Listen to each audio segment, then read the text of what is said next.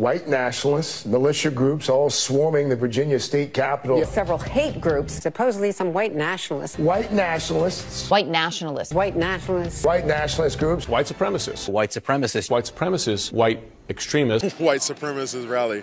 As you can see, I'm not a white supremacist.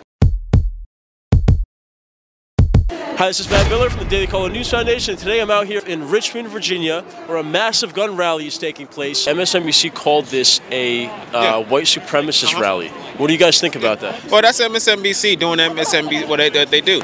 I think the uh, the press. I mean, that's the same MSNBC that told us it was a 92% chance that uh, Hillary Clinton would be our next president. They called this a white supremacist rally. What, what are your thoughts about that? white supremacist rally.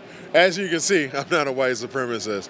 Uh, this is actually a rally where you've got people from every walk of life, whether it's been, uh, you know, Antifa or Black Lives Matter or, you know, the Tea Party groups. There's so many different groups of different ideologies that are here today because of the fact that everyone is standing up for their Second Amendment rights. It has nothing to do with uh, party or anything of that nature. I haven't seen one racist here. The only racist I know of is Governor Blackface, aka Ralph Northam. No, there's tons of minorities around here, but that's mainstream media. They want to dress it up to make us look like we're some sort of radicals.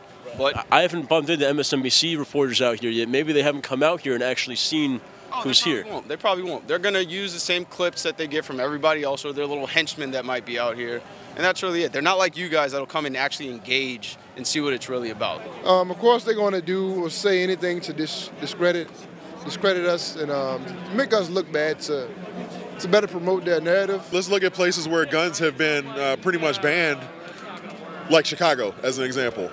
Who's getting killed the most? It's the minorities. And that's what that's what will happen if you take guns away from different localities. People that don't have the means to get out of the situations they're in, they fall prey to, you know, gun violence. And that's that's something that we can't have happen in Virginia. And I, I will fight to my death to make sure that that doesn't happen. I mean, look around the world. Hong Kong, they're screaming for a Second Amendment. Every there's tons of uprisings just around the country, around the world. And America just needs to understand that our Second Amendment is the reason why we don't look like everybody else right now. I mean, these are the most, I mean, we are the most peaceful, most generous individuals that you could possibly meet. And we just, That's it seems like so far out here today. nothing, nothing's happening. They've been fear mongering, telling us Antifa's coming in, people coming in to make threats and, and cause chaos. And it's, there's probably thousands of guns out here. On me, my person now, this is one, have two pistols on me. Thousands of guns out here. No one has gotten hurt. No shots has been fired. I mean, this goes to show and goes against their narrative that, you know, guns, the more, they say the more guns are in a certain area, the chances of someone getting shot. I mean, we've been out here since what? Like what, seven, eight o'clock, and no one has been shot yet. And it's going to continue to be this way throughout the duration of the event. So According to them, this is this would be the most violent hotspot ever. It hasn't. goes to show, you know, it's just they trying to brainwash